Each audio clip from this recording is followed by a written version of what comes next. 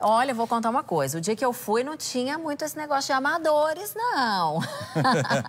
uma galera preparada que vai, eles vão até caracterizados. E a gente que manja do assunto no mínimo, porque senão fica todo mundo ali desanimado. O Jerônimo também estava brincando. Aquilo é pianista clássico. É... O cara tem 10 anos de piano. Tava... É porque ele quis jogar pra galera. Ele quis, é. ele quis cantar uma música que todo mundo canta, não é? Isso é pra mim também, que eu teria que cantar Frank Sinatra, Pavarotti, Carreiras... Medo disso. Elvis Presley, acho que não rola, né? Mas é muito divertido, vale a pena, é lá no Bolshoi, na T2. Se você quiser ir lá dar uma conferida, quarta-feira que vem tem de novo. Bora? Bora! Você pode acompanhar as notícias do Brasil e do mundo pelo portal r7.com. Fique agora com Terra Prometida. Uma boa noite para você. Boa noite, até amanhã.